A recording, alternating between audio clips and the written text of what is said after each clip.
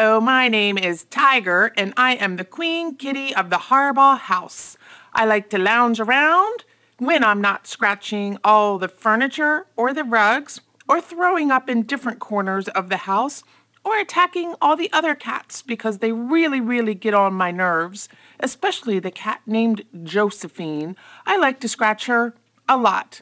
When I'm not doing those things, I like to cuddle with my mommy. She's my favorite. Bye bye for now.